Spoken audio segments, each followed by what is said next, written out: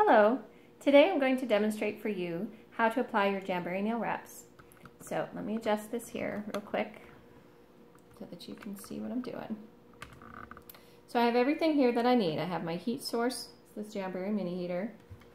I have a nail file, an orange stick, a cuticle pusher, and fingernail scissors. And I also have the wraps that I'm going to put on.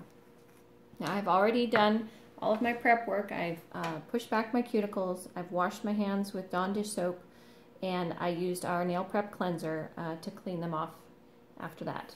So let me start. The first thing I'm going to do is my thumb. And I've already cut the wrap when I did my other thumb. So I'm just going to take this off. I always use the orange stick to pick the wraps up so that I don't get the oils from my skin on the back of the wrap. That can interfere with the adhesive. So I'm going to turn on the heater and I'm just going to give it a little bit of heat. You don't want to give it so much heat that it starts to curl. That's too much.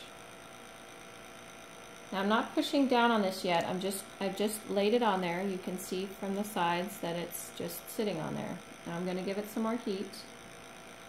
And then I'm going to push down just the middle across the top from the bottom to the top along the middle.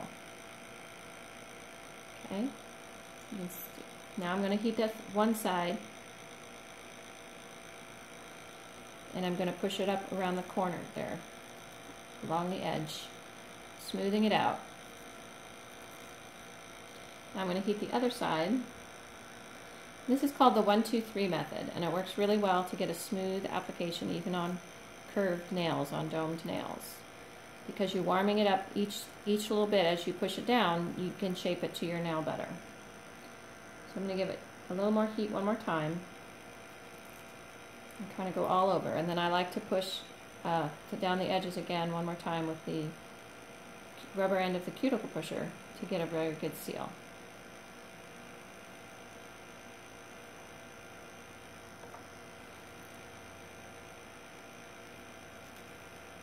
Okay.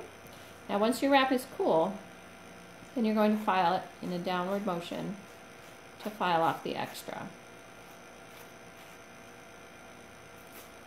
Make sure that you only go in a downward motion so that you don't get any lifting at the tips.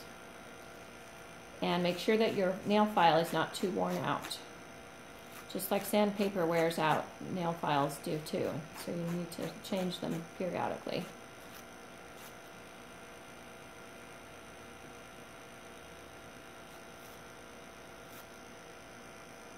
As you can see that extra is coming off.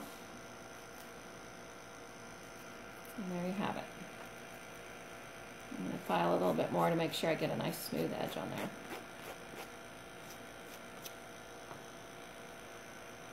Okay, now we can give it a, one nice little bit of heat.